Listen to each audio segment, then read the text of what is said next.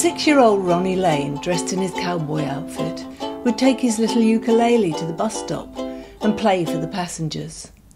Half an hour was enough to fill his pockets with pennies. Ten years later, he'd progressed to guitars and rock and roll. He'd grown precious few inches, though. Then, on the 23rd of January 1965, Ronnie Lane and his mate Kenny Jones went into a music shop in Manor Park to buy a bass guitar. They were served by the Saturday boy, Steve Marriott. Steve sorted out a deal on a Harmony H22, an act of generosity which later got him the sack. In return, Ronnie invited Steve to a gig he and Kenny were playing that night at the Earl of Derby, a pub in Bermondsey. The pub was heaving. The band was one of many Ronnie was involved with. Under various names and with different personnel, they came together and fell apart. To warm up, Ronnie and Steve laid into the whisky, a drink with which neither was particularly familiar. After a couple of numbers, Ronnie invited Steve onto the stage. He took over he channeled Jerry Lee Lewis, pounding on the piano with hands, feet, and arse. Everything we did swung like Hanratty, he said. The pub piano, however, disintegrated. The landlord pulled the plug. The other members of the band were livid with Ronnie and Kenny for encouraging this piano wrecking incubus and drove off in the van, leaving them stranded. Ronnie, Steve, and Kenny sat in the gutter next to Kenny's drum kit and Ronnie's amp and bass. They started to laugh. A little at first and then hysterically. It was going to be all right. They were a band, it was obvious. A band like no other. They were on their way.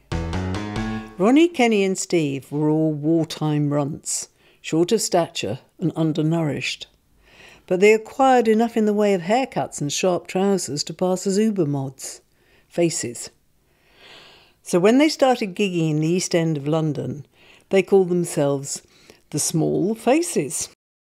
Their lucky break, or nasty setback, depending on how you look at it, came when they were spotted by the notorious Don Arden, an impresario who took no prisoners. Arden signed the Small Faces to a dodgy contract, secured them a record deal with Decca, and made sure their first single, What You Gonna Do About It, got enough airplay and hype. Baby alligators were always guaranteed to shift product for it to go top 20. More hits followed. All or Nothing, written by Ronnie and Steve, went to number one. Mr. Arden put them to work on a relentless tour schedule. For the next three years, we were a top teeny scream band, Ronnie said. We worked seven nights a week.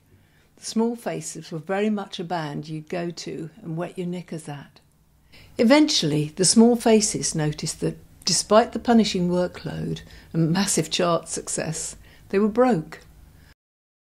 After a lot of argy-bargy, they left Mr. Arden and signed with the Rolling Stones manager, Andrew Loog Oldham, and his newly formed record company, Immediate, with its perplexing slogan, A New Record Company of Tomorrow, Today.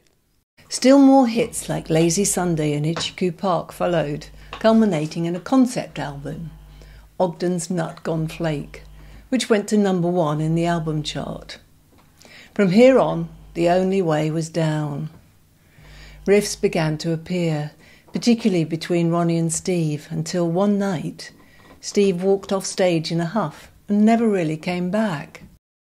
And once again, all the money had disappeared.